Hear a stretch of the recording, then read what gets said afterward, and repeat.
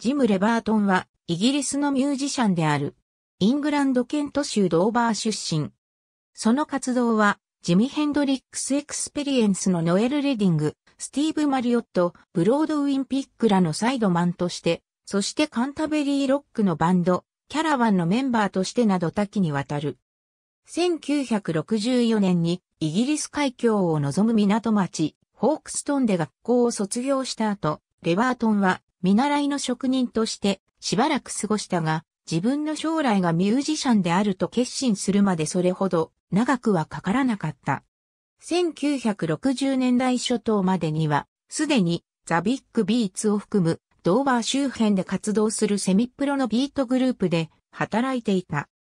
1964年までに彼はフルタイムで音楽の仕事をする準備ができており、レバートンの友人だったノエル・レディングがギターで参加していたフォークストンのバンドザ・バーネッツに加わった。彼らは2枚のシングルを発表し、18ヶ月後に解散した。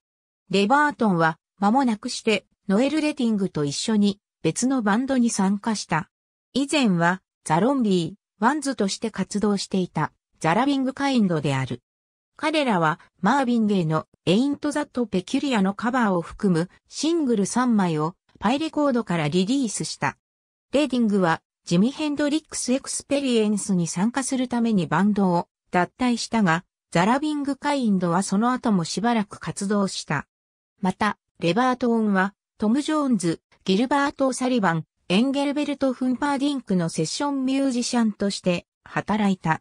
レディングが新バンド、ファットマットレスを結成した時、ニール・ランドンとエリック・ディロンと共にレバートンも再び集結した。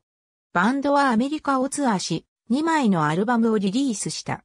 レバートンはジューシー・ルーシーに加入したが、アメリカツアーの後に数ヶ月の休息を取るため、脱退した。彼はすぐ仕事に復帰し、今度はエリスと仕事することとなった。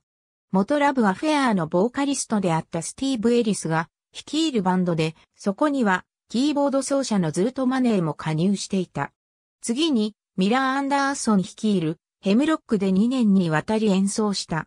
彼らのアルバム、ヘムロックは1973年にデラムレコードからリリースされ、バンドはイギリス、ヨーロッパ、アメリカをツアーした。彼は生涯の友となるヘンリー・マッカローのソロアルバムに取り組むために活動した。アルバム、ブギー・ブラザーズを発表したサボイ・ブラウンに加入してアメリカをツアーする前に歌手のフランキー・ミラーともギグを行った。1975年、再びズートマネーが在籍するジョー・ブラウンザ・ブルバーズに参加する前には、レオ・セイヤーのバンドと同じ時を過ごした。1978年にスティーブ・マリオットが長年の友人であるジョー・ブラウンのギグの一つを訪ねた。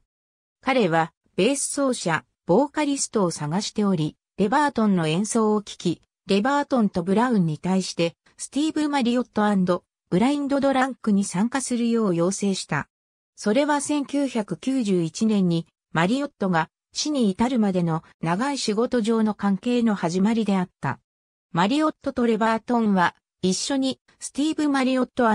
パッケット・オブ・スリーを含むマリオット率いるバンドに連続して共演した。レバートンも参加したアルバムザ・レジェンダリー・マジック・ミゼッツはマリオットとロニー・レインによってレコーディングされ2000年にリリースされた。現在も数多くの共演ライブアルバムを聴くことができる。1990年代になって、レバートンは一時的に再結成したブロードウィンピックに参加し、その後、1992年からロリー・ギャラガーと共演した。それからついにジェフリー・リチャードソンと出会った。二人は長く続き成功し続けたギグにおけるパートナーシップをスタートし、1996年にファーストアルバム、ホローユアハートをレコーディングした。その間の1995年に、1970年代初頭からキャラバンと活動していたリチャードソンは、レバートンにバンド加入を提案した。レバートンは、ケント州でキャラバンやザ・ブルーデビルズとの演奏を続けている。また、アンディ・ニューマーク、クリス・ゴッテン、マルコム・バーナード、ジェフリー・リチャードソンと共にロッキーザ・ネイティブを結成してベースを演奏しており、デビューアルバム、Let's Hear It for the Old Guys をプロデュースした。ありがとうございます。